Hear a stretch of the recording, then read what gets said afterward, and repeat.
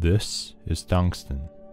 Tungsten, or wolfram as it is also called, is a chemical element with a symbol W and atomic number 74.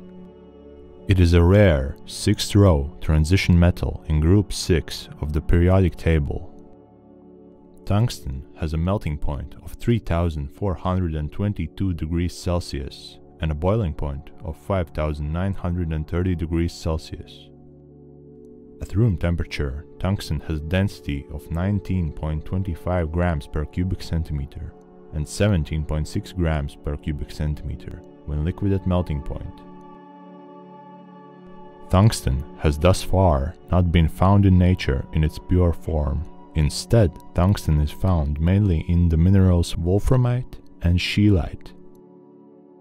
In 1781, Carl Wilhelm Scheele discovered that a new acid, tungstic acid, could be made from scheelite, a calcium tungstate mineral. Approximately half of the tungsten is consumed for the production of hard materials, namely tungsten carbide, with the remaining major use being in alloys and steels.